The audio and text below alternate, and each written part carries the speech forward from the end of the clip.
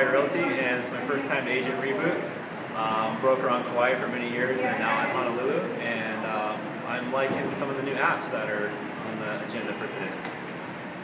Hi, I'm Joe Matsuoka with IBK Realty. I'm here at Agent Reboot because of the great apps that they have available that they're teaching us, and there's so much networking to be done.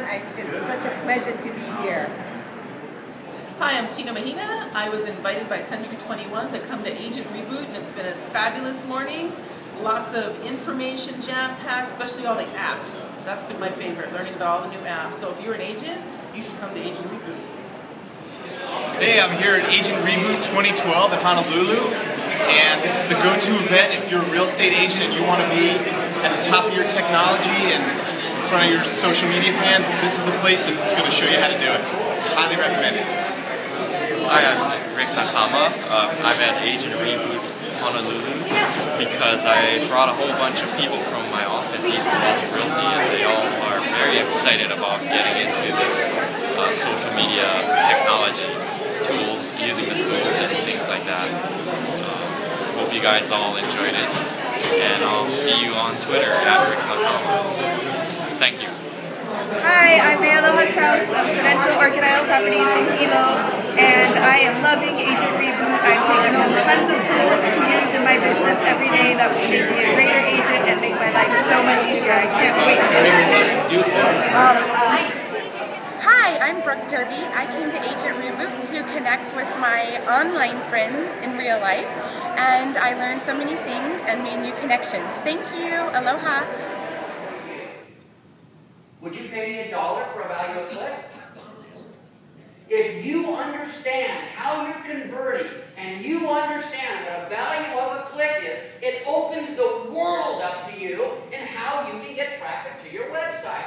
Because you just proved to me that you will give me $10 bills for 20 all day, right? They pop up automatically underneath on my drop down because it's a hyper social connection to me. If you were to search for realtor, you're not going to get that. It's that relationship in Google+. So if you can think of some of the ways you could use this as a realtor and the connections that you're making on the social network and permanently affecting your connections search results page, this can be extremely, extremely powerful. So think of it like this fly, right? We've seen flies trapped in a room. They bang into the glass time and time again. They don't understand that no matter how hard they hit the window, no matter how hard they fly into that glass, they're never going to break through. So the quantum leap happens when they finally discover there's another window in the room, and that window is wide open. So just a fraction of the effort, it's able to fly through again with. Think about the contrast there. Death on the windowsill, opportunity to live and do what you want, right? Tiny change in behavior, monumentally huge result. So I want you to think about your business. Where are you banging your face in the glass? Are you doing the same thing over and over and over again and hoping for a different result? Focus on that. It's those things that present the change that can really expand your level of opportunity. So if I went to your timeline and I saw this beautiful, you know, well done shot, your, your photo is either professional or done well. There's a welcome tab, there's a Pinterest plugin, there's an email sign up. It's really important on a site that people wake up and go to every day for 22 minutes a day that you have everything filled out properly, and that really includes the picture. The other thing I notice a lot is you know you engage with people on Facebook and they kind of pique your interest, and then you lurk and you stalk them, right? And you click on their name and you go and you look at their wall. You see if there's any pictures of them at the beach, right? Am I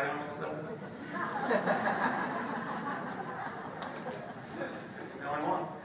So, but the point is, I do that a lot. I'll click on an agent's name and I'll look at their bio or their about. There's no email, there's no phone number, there's no link to their website, there's no link to any of their other social sites.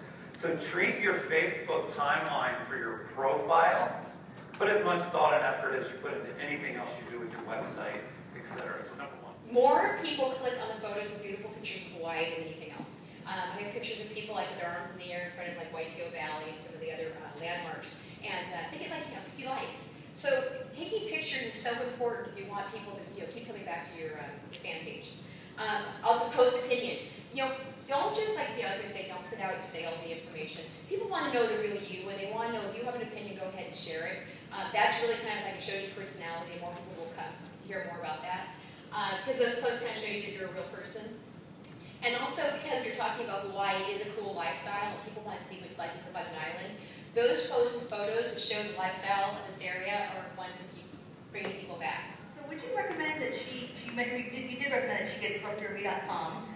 What about other URLs? I mean, I know in the past you talked about you know, microsites and things like that. Well, I, I think that as an agent, uh, there's a there's a natural migration path. You start as a new agent, you start to build out your website, and eventually you start to generate leads. You start to generate more leads than you can handle. And so there's this natural migration path that I think right now part of that path isn't identified. Like you don't have a migration path to get larger. And, and so I see that as being a limitation in terms of the number of deals and things that you can do. And depending on what your goal is, if your goal is to you know make a few hundred thousand a year, I think you're going to need your own personal brand, and you're going to need that site. You need to build that traffic. So I would say that that would be probably my number one thing. You know, WordPress, obviously, you've heard a lot about that. I would definitely think. You know, we use that at Hawaii Link, so I'm familiar with it. Right. Yeah. yeah. And, and then take that content that you're building. You, you've written uh, a number of blog posts on your own website. Pull your Twitter feed in. You're doing. I mean, I don't know how many times you tweet, tweeted today, but it was a, it was a few. Um, and, and, and you start to build that in, and now you can build your own personal site, and you start to just think about how that might build out over time. And it can get quite large. I mean, it's, you, start your, your here, but it can be like Dan Stewart was talking about,